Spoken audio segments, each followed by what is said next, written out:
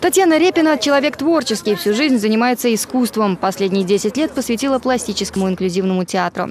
Татьяна – одна из 10 девушек-финалисток первого в Самаре инклюзивного конкурса красоты. Сегодня для участниц подготовили велоэкскурсию по Самарской набережной. Новые впечатления, новые идеи, новые там мастер-классы. Вот велопрогулка для меня это тоже новое. Я всегда тоже хотела покататься на велосипедах. Но поскольку они двухколесные, равновесие отсутствует, и как бы не удавалось. А это тут специальные велосипеды, на которых мы сейчас отправимся в путь.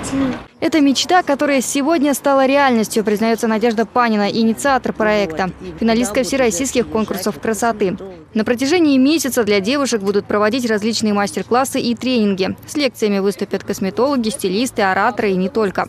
Конкурсантки будут дефилировать на подиуме. Главная цель конкурса – показать, что каждая девушка – особенная королева. Суть проекта в том, чтобы донести, что а, человек а, красив еще и внутренне, несмотря на внешние а, данные, человек а, красив внутренне.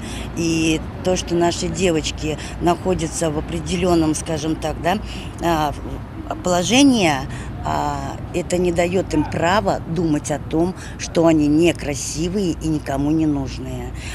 И вот именно вот это вот зерничку хотелось бы в них взрастить, чтобы каждая из них почувствовала себя королевой. Главный приз конкурса – публикация фото на обложке модного журнала. Проект проходит при поддержке администрации Самары. В середине осени, 8 октября, в концертном комплексе «Дирижабль» снова наступит весна. К этому времени каждая из участниц приготовит творческий номер и покажет себя во всей красе.